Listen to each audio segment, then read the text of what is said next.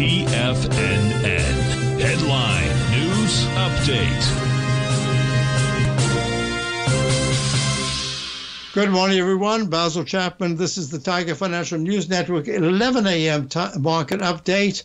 And on this uh, Thursday, the 25th of July, we're looking at the Dow up 180 at 40,034. Very important. Got to a sell signal, not yet a sell mode.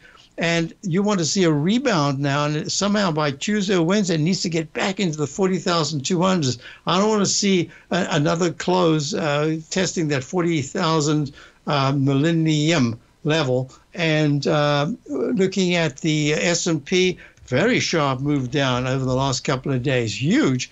And it went from a sell signal. I have to wait for the end of the day to say whether it's a sell mode, but this is very weak down. It's up 17 now at 54.44. It ran all the way down to the uh, 53.90 level. So this is a fabulous turnaround. And look, it did it just in time for the support in the weekly chart. Looking at the QQQ, there we go, three Qs uh, much, much weaker. It went all the way down from the 503.52 level uh, earlier in July, uh, all time high, slumps down to the 455.63 level. Now it's at 463.13. Nice turnaround early in the day. I think it's going to be digesting gains for a little while longer. I'll do the same thing with SMH's nice turnaround.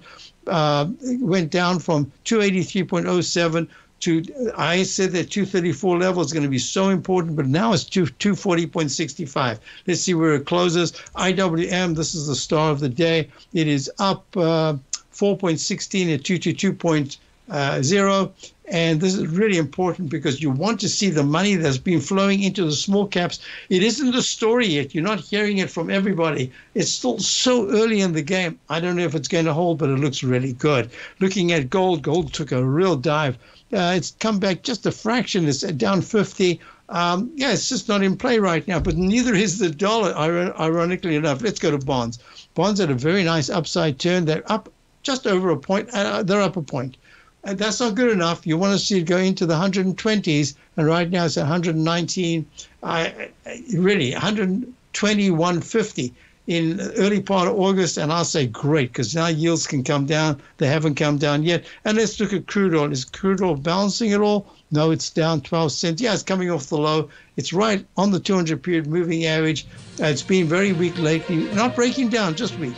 So, with that said, stay tuned for great programming. Don't forget tomorrow's, uh, uh, you have the uh, Larry Pesavento's live trading webinar. And a week from tomorrow, Tom O'Brien. Very, very interesting. Should be great. Uh, good time to have these uh, events. Have a great day. I'll be back tomorrow, 8 o'clock to 9, early edition to be repeated at 10. Thank you for being here. Check out my opening call.